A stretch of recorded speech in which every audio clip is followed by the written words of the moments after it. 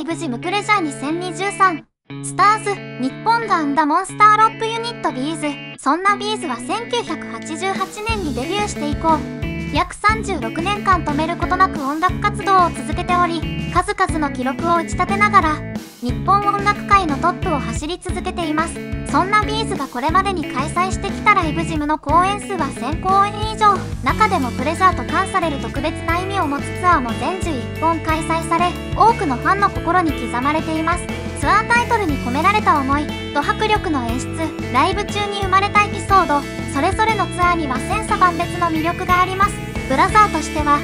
全てのプレジャーツアーの内容を知っておきたいですよね。そこで今回は2023年6月17日から2023年9月24日にかけて12会場24公演74万人を動員したプレジャー2023ツアーについて簡単に解説したいと思います。ただ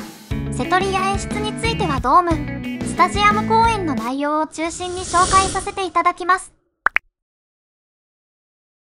ビーズライブジムプレジャー2023スターズとは5年ぶりに開催された11回目のプレジャーツアーでありビーズが35周年イヤーに開催した記念すべきツアーです。このツアーは2023年6月17日から2023年9月24日にかけて12会場24公演行われました。ライブ観戦における新型コロナウイルス感染症予防対策ガイドラインが廃止後のツアーとなったためファンは約4年ぶりに声を出してライブに参加することができました。座席種についてはいつも通りの SS 席。S 席。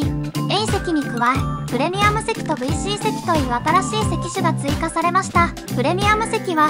SS 席エリアの中央部分に位置する席であるだけでなくさらに特別グッズもついたまさにプレミアムな席。VC 席というのは1階スタンド席の1列目の席でした。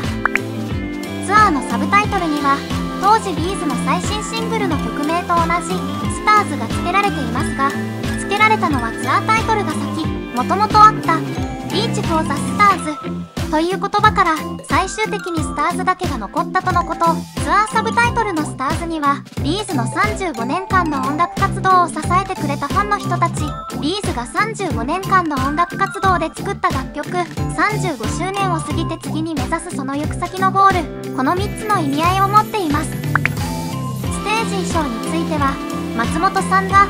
ゼブラ柄のシャツやベストを着用したり稲葉さんがこれまでの歴代プレジャーライブの T シャツを縫い合わせて作った T シャツを着用するなどプレジャーならではの衣装もありました。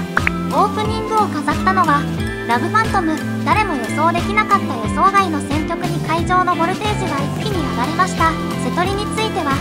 ラン恋心。ネイティブダンスといったプレジャーツアーの定番曲はもちろん売り上げ200万枚を超える大ヒットソングでありながらしばらくライブで演奏されていなかった「愛のままにわがままに僕は君だけを傷つけない」なども入ってました。中でも「星降る夜に騒ごう」「ギターキッズラプソティ」「夜に降られても」などしばらく演奏されていなかったビーズ初期の曲や27年ぶりに披露されたビッグはファンの意表をつく選曲だったと思いますまた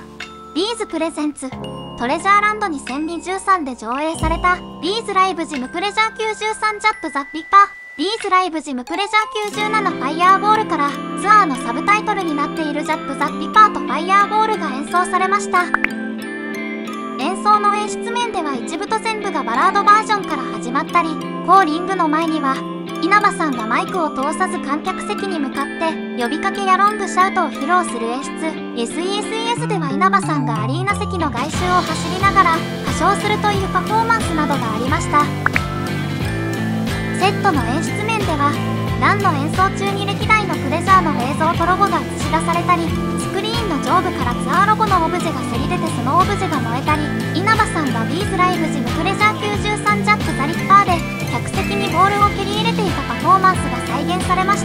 ライブ中盤にはワーカーアンターを再現したセットが組まれB'z 人形 B'z 人生ゲーム